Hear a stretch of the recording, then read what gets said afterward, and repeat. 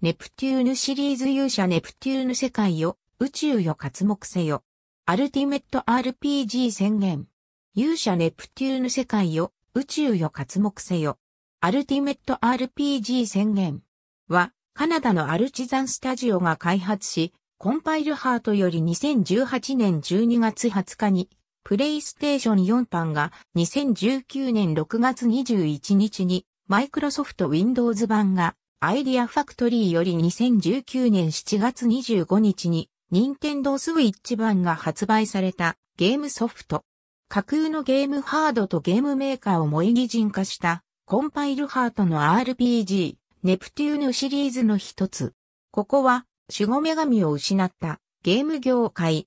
ここではシルクワームが世界を支配しており、2D ゲーム以外の存在を認めず、3D ゲームを作ろうとする者たちを次々と捉え弾圧していた。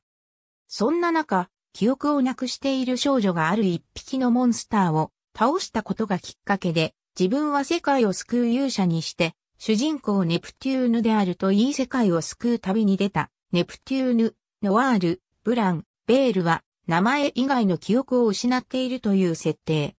本作では、シルクワームの総帥フィリンに敗れた後消息不明となっており、ネプテューヌたちの女進化後の姿なのかは不明。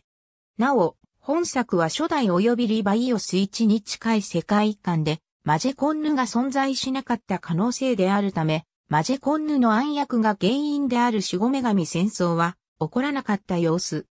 本作のゲーム業界を支配している組織で 2D ゲーム以外の存在を一切認めず 3D ゲームや最新技術を投入した開発者たちは問答無用で逮捕され精神が壊されるまで奴隷生活を送るという名前の元ネタは開国リア。ありがとうございます。